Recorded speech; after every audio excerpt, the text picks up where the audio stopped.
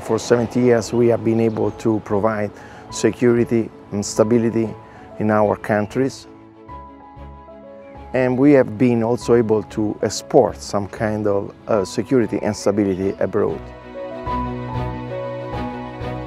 Just started working with NATO a couple of months ago and the most important thing that, that I notice is that it's a really strong community sense. Everybody is so open and eager to help and, and wants to be part of the NATO family.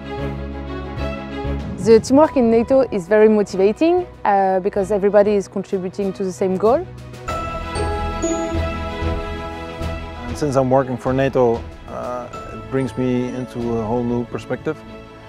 Um, it's enriching because of the diversity of nation, vision, gender.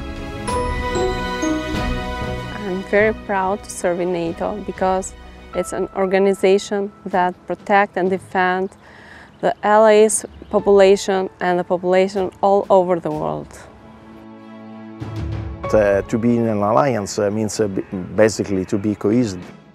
In anything we do, we need to demonstrate this cohesion, which is very much uh, the, the, the core of the alliance itself.